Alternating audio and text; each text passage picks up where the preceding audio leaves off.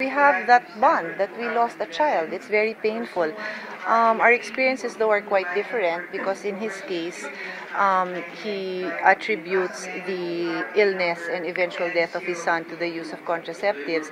And I shared with him that my experience was actually quite the opposite because, in fact, when I gave birth to my, that was my fourth pregnancy. I had a miscarriage uh, on my second pregnancy. I never used contraceptives at that time. When I gave birth to my third child, I had not used contraceptives and, and I was not using when I got pregnant.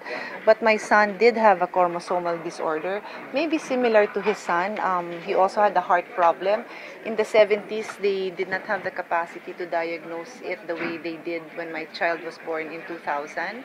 Uh, my son had trisomy 13, a hole in his heart, enlarged kidneys, cleft lip and cleft palate, perceived to be deaf and blind.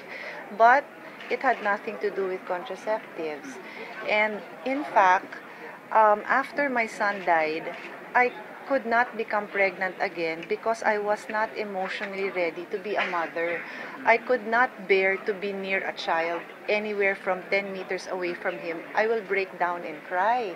I can go about my work, I can be a good mother. I was a practicing lawyer, but I could not be a mother to a baby. So I actually took contraceptives then so that I would not get pregnant because I would not be a good mother if I had gotten pregnant again. So this is the other side of a story that is true.